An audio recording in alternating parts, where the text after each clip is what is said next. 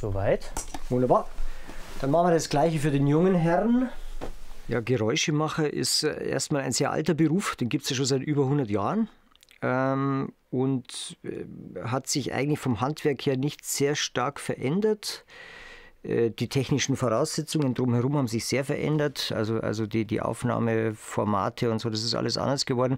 Aber das ist ein Beruf, wo, wo wir mit Händen und mit Füßen Töne und Geräusche herstellen, die für Filme oder gelegentlich auch für Hörspiele gebraucht werden.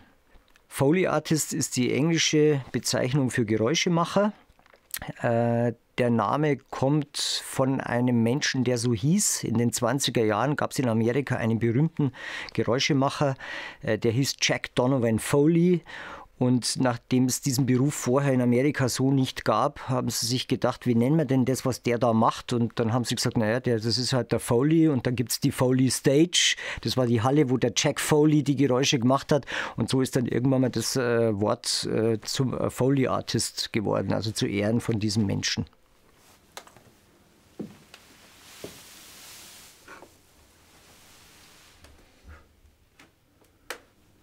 Ich schaue mir den Film an. Ähm, dann bekomme ich ähm, eine, ein, ein, ein, eine Anforderungsliste oder, oder einen Wunsch äh, vom Sounddesign oder vom Regisseur oder vom Mischtonmeister, die, die Leute, die den Film auch bearbeiten, die zu mir sagen, wir brauchen dieses und jenes.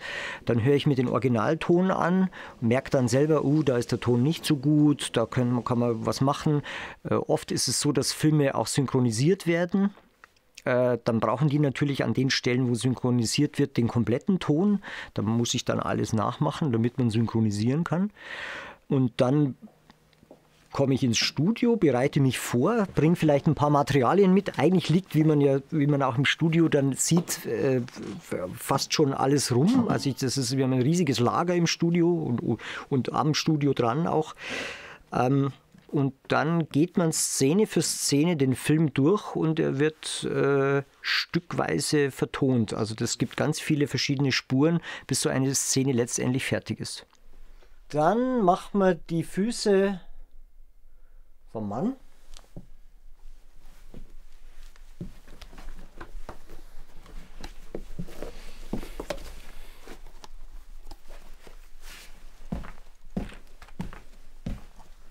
Ja, klingt gut. Mhm. Und läuft.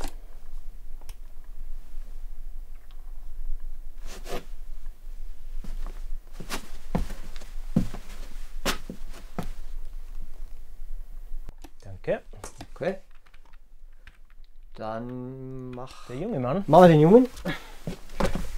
Den mache ich ein bisschen härter, weil der so, so nah ist bei 11. Ja. Ja. Und läuft.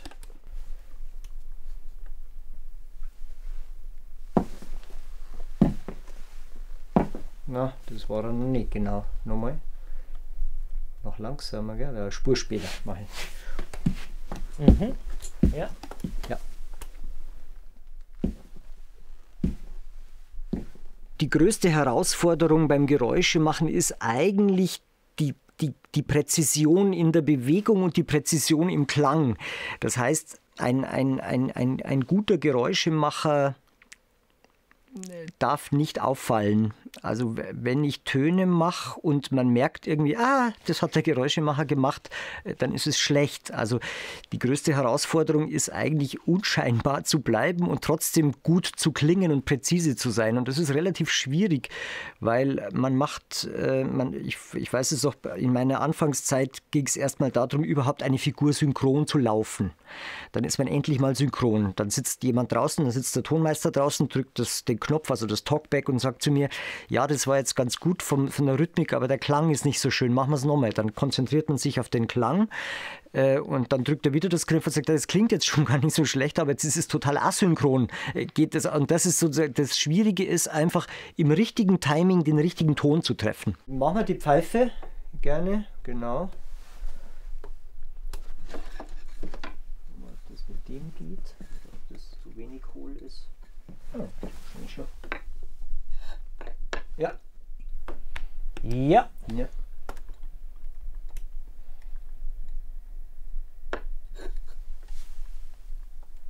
Gut. Mhm. War, oder war es ein bisschen zu viel geklapper?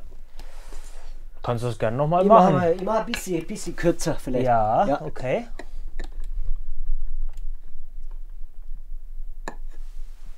Gut. Ja.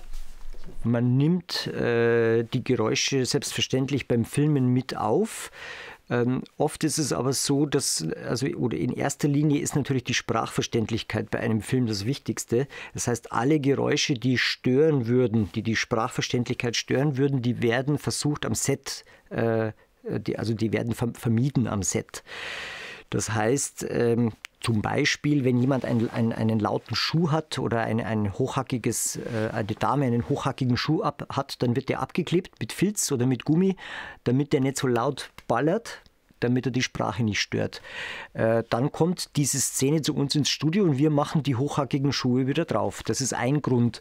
Äh, andere Gründe gibt es, vielleicht muss eine Szene synchronisiert werden, weil ein Störgeräusch aufgetreten ist zum Beispiel der Film spielt im Mittelalter und plötzlich fliegt der Hubschrauber drüber, äh, dann wird die Szene hat gut ausgeschaut, die wird, die bleibt, also muss aber synchronisiert werden. Das heißt, auch dann werden die Geräusche nachgemacht. Oder eben ähm, manche Geräusche klingen nicht so spektakulär oder prominent, wie man sie gerne hätte. Also das, der klassische, der Klassiker ist, äh, der Bösewicht hat eine Lederjacke an und die Lederjacke, die knarzt natürlich am Set nicht, weil das wird, der wird ja total nervig sein. Und dann macht man das in der Nachbearbeitung nach. Oder zum Beispiel einen Schlag ins Gesicht. Also jeder, der schon mal einen Schlag ins Gesicht bekommen hat, weiß, das klingt nicht so, wie es im Film tut. Äh, aber äh, wir wollen halt, dass es knallt. Also das ist schon eine gewisse, äh, es gibt so eine Klang- oder Hörerwartung und die muss bedient werden und deshalb werden, muss man Geräusche nachmachen. Foley Artist bzw. Geräuschemacher wird man eigentlich in, nur in einem Meister-Schüler-Verhältnis. Also es gibt keine Schule, es gibt keine Ausbildung. Man muss das Geräuschemachen von einem alten, erfahrenen Geräuschemacher lernen. Am besten in, in dessen Studio. Äh, bei mir war das so, ich habe vor 20 Jahren einen Geräuschemacher kennengelernt. Ich war vorher Musiker und Tontechniker. Das ist auf jeden Fall eine gute Voraussetzung, um Geräuschemacher zu werden und äh, war bei diesem Geräuschemacher dann äh, dreieinhalb, vier Jahre Assistent. Jetzt habe ich noch ein paar Klassiker der Geräuschemacherkunst äh, vorbereitet. Ähm, das ist zum Beispiel das eine sind Schritte im Schnee. Das gibt schon ziemlich lang. Äh, dazu habe ich hier so verschiedene Beutel. Ähm, die sind zum einen mit Speisestärke gefüllt. Äh, die knirscht. Und das ist ein Beutel, da ist einfach nur äh, Streusand drin, um das, damit es ein bisschen crisper wird, weil der Schnee hat ja verschiedene Konsistenzen. Und da kann ich jetzt zum Beispiel mal machen, einmal ein bisschen stumpfer Schritte im Schnee nachmachen. Dann will ich noch ein, ein Werkzeug vorführen.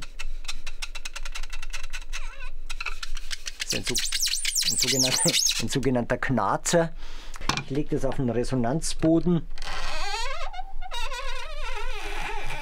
kann jetzt auch, wenn ich da zum Beispiel nochmal rumschraube, kann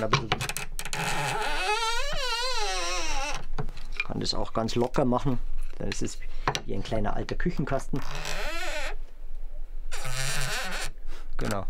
Dann gibt es noch was, das macht man heutzutage eigentlich auch nicht mehr als Geräuschemacher, außer manchmal als Addition zu einem Archivgeräusch oder zu dem Originalton dazu. Das ist das Knistern von Feuer. Also Feuer besteht ja im Prinzip aus drei Elementen. Äh, einmal aus einem, aus einem Knistern, dann aus einem Knacken, wenn, wenn die Hölzer springen, und dann aus dem Lodern. Kann ich natürlich verschiedene Loder-Sachen. Und früher saßen die Geräuschemacher dann tatsächlich im Studio und haben dann so Lagerfeuer gemacht. Der Assistent saß dann daneben und hat dann zwischendrin so Knacker reingehaut.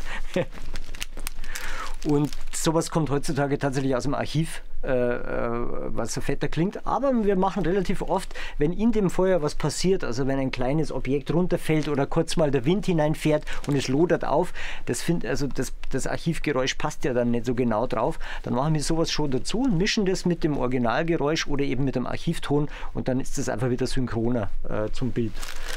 Und jetzt hätte ich zum Abschluss noch eins meiner Lieblingsgeräusche und auch das Lieblingsgeräusch des äh, Lehrmeisters, bei dem ich vor 20 Jahren das Geräuschemachen mal gelernt habe. So haben die früher nämlich Meeresrauschen gemacht. Das sind zwei Schuhbürsten bzw. Kleiderbürsten und ein Kisten und dann